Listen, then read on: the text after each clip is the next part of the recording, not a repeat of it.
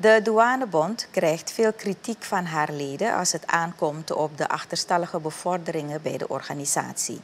Dit stelde bondsvoorzitter Joyce de Vlucht gisteren bij de bevordering van 57 collega's.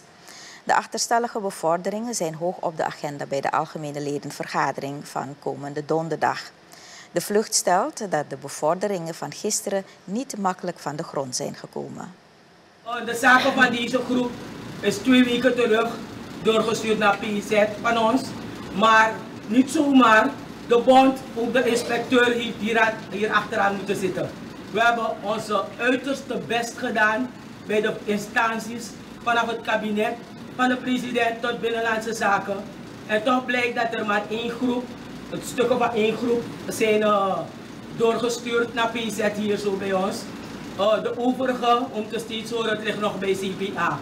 Dus wat dat betreft is het laatste woord nog niet gezegd. Maar vandaag ben ik hier om daarover te praten. Laten we zeggen, de mensen die hier zijn, die bevorderd gaan worden, voor hun is het een hele mooie dag vandaag. Eindelijk, eindelijk, want ze hebben er langer om gevraagd.